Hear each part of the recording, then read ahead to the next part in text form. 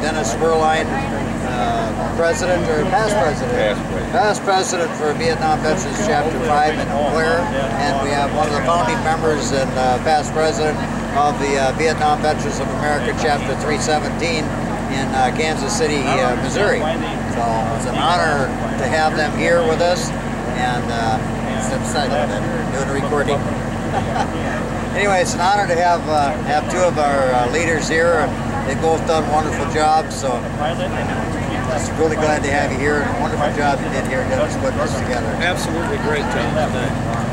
Very good. We have good speakers, good visitors, good weather. So, anything you want to say?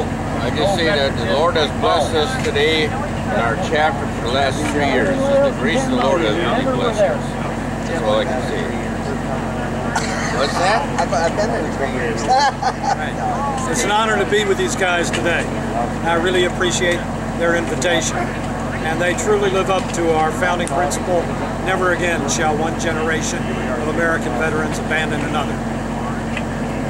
Amen. Thank you.